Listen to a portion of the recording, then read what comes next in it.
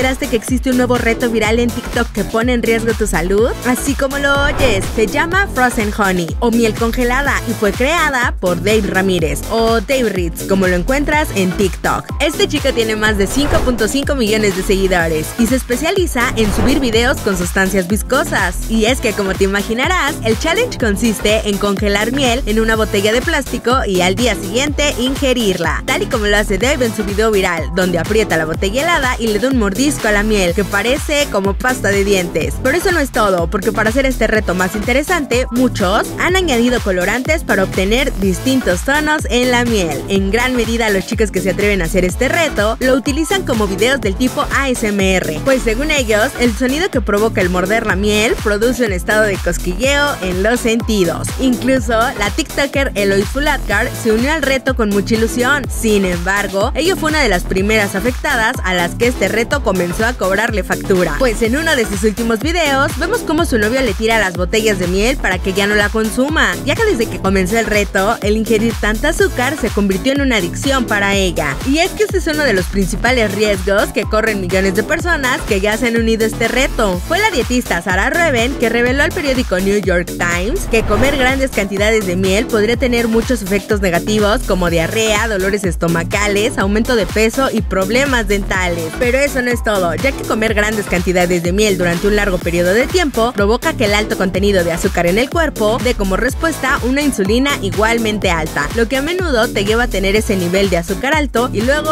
a temblar mucho cuando tu nivel de azúcar en la sangre es baja. Con el paso del tiempo, esto se puede volver una adicción y hasta provocar diabetes. En Estados Unidos ya se han reportado personas con dolor de estómago o problemas intestinales a causa de este challenge. Tal vez está de más que te lo diga, pero no siempre es bueno hacer todo lo que vemos en internet para sentirnos cool, y menos si a cambio tenemos que poner nuestra salud en riesgo. Ahora que ya te enteraste, cuéntame en los comentarios qué opinas de este challenge, que como verás no es tan dulce como parece. Mientras te tomas la molestia de comentar, nosotros ya estamos preparando el segundo video de hoy, que como siempre tendrá todo para ti.